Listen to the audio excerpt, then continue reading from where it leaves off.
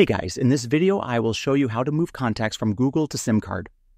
Alright, let's begin. So, in order to move contacts from your Google account to your SIM card, you have to follow these steps.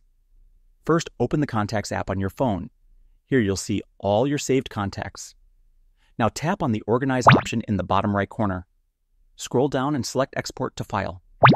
From the options given, choose any account so that your contacts are exported and saved to your phone storage.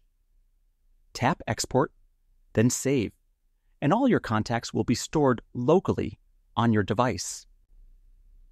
Once that's done, close the Contacts app and open the Google Play Store. Search for and install an app called Copy to SIM Card. After downloading, open the app.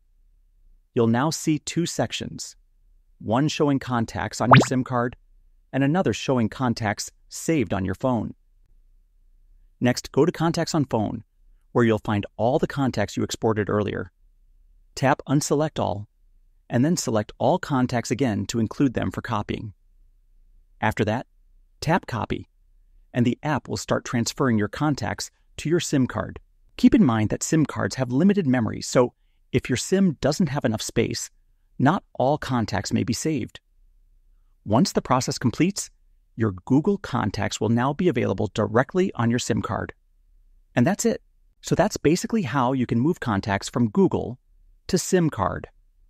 And that's it for this video. If you found this helpful, consider subscribing and giving this a big thumbs up. Thanks.